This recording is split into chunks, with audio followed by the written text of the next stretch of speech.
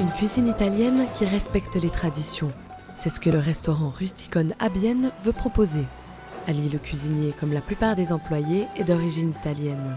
Un critère important pour le gérant Rocco Giannone que le label permet de mettre en avant.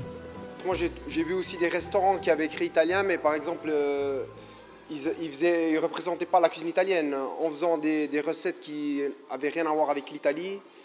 Et puis euh, justement en, utilisant des ingrédients qu'on n'utilise pas dans la cuisine italienne. Ça, ça m'est arrivé de, voir ça dans quelques restaurants. Pas forcément à Bienne, mais j'ai vu ça en Suisse. Dans la pizzeria Célande, on peut également déguster des spécialités italiennes. Mais ici, la plupart des employés viennent de Macédoine. Un point qui fait que le restaurant ne répond pas aux critères permettant d'obtenir le label. Une condition que le gérant adjoint Nassif Hassani ne comprend pas.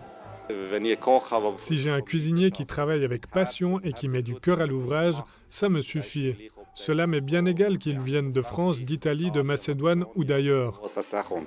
Confronté à ce point de vue, le vice-président de la Fédération italienne des cuisiniers et cuisinières en Suisse réagit. Il peut être un Turc, en Bosnie, en, Albanais, moi je ne suis pas raciste avec tout le monde, je ne suis pas avec personne.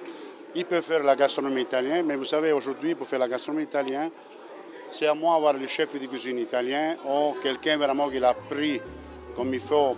L'Association pour les cuisiniers et cuisinières d'origine italienne souhaite commencer à examiner les restaurants intéressés par ce label en Suisse dès l'année prochaine.